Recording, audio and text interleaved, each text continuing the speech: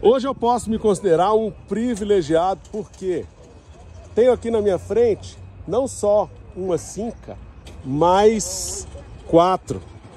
Quatro? Cadê a quarta, Gustavo? Aqui, ó, uma das mais raras dela, uma cinca tufão jangada, que é a perua desse carro que depois foi comprado aí pela Chrysler, né? Então vamos falar um pouco aqui de história. A gente dificilmente vê uma na rua, quanto mais quatro. E aqui nós temos quatro modelos bem distintos, de gerações diferentes. E eu vou tentar mostrar aqui para vocês um pouquinho das diferenças para quem aprecia e ainda não teve oportunidade de ver. Essa aqui é uma Rally especial de 1962. Reparem que ela tem uma tonalidade meio arrozeada, né? Maravilhoso. E por ser rally, ela tem essas aletas de ventilação em sua parte frontal que diferem do modelo Tufão e dos outros modelos, né? Essa que então viu uma dessa com as aletas é a Rally. O interessante desse ano é que até 63 ela tem o teto arredondado, né? Diferente dos modelos 64 para frente que tem o teto é, mais a mais aquadradado, né? Essa aqui é uma Chambord de 1966.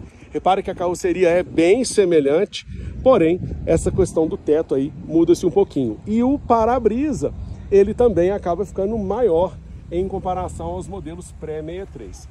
Aqui do lado nós temos a evolução da Chambord, que é a esplanada, né? Reparem que o teto ali é parecido, mas ela já tem um desenho diferenciado já buscando aí um pouco do design que já viria nos anos 70. A Esplanada teve poucos anos apenas de produção no Brasil e ela recebia aqui o um motor M-Sul, né? Depois disso, meus amigos, a Chrysler comprou a Cinca e usou a planta onde fabricava a Cinca para se fazer os modelos. Pode ficar aqui, ah, os modelos é, da linha Dodge, Dart, Charger e assim por diante. E aqui a mais interessante delas, pela raridade, que é uma jangada 1966. E olha que interessante, ó, mais um Cinca V8 Tufão.